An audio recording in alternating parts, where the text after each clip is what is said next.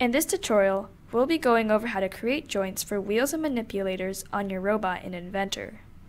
To begin, open the CAD model of your robot in Inventor. If your robot was CADed in a different software, you can most likely import it into Inventor. This robot has bumpers, making it difficult to access the wheels. Since we can't move the bumpers in the current state, we need to remove the constraints. Right-click on the bumper and click Find in Browser. In the hierarchy, we can view the part and the constraints associated with it. Select the first constraint, hold Shift, and select the last constraint. Right-click, and then click Suppress. Now you can move the bumper out of the way.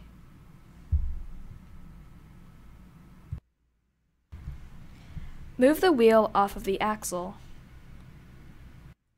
Click Joint. Select the origin of the wheel, and then select the origin of the axle. This will automatically create a rotational joint. Press OK. Repeat this process for all of the other wheels. When you are done, reconstrain the bumper to the robot. Right-click the bumper, find in Browser, select the constraints, right-click, and uncheck Suppress. Now let's create a joint for the manipulator. Click Joint, and select the origin of the rotation of the manipulator. Then select the origin of the axle. This will create a rotational joint. However, it's not quite in the right spot. Select Flip, and this will flip the manipulator onto the other side.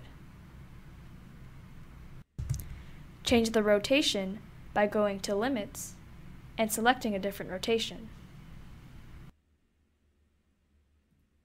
You can also adjust the gap between the manipulator and the robot using the orange arrow or by manually entering a value into the gap bar.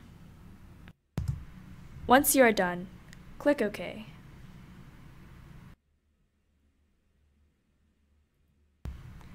Now we have a manipulator that is jointed to our robot. However, you can rotate it 360 degrees, which is not what we want. Instead, we want to set limits so that it only rotates within a certain range. To do so, find the joint in the hierarchy, then click Edit. Navigate to the limits and check Start.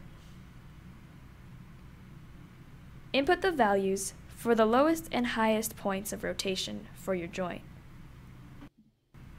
When this is done, click OK.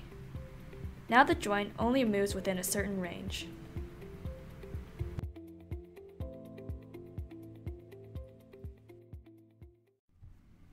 Thank you for watching this synthesis tutorial. Be sure to check out our other video tutorials. If you're interested in contributing to synthesis, make sure to check out our GitHub page as well.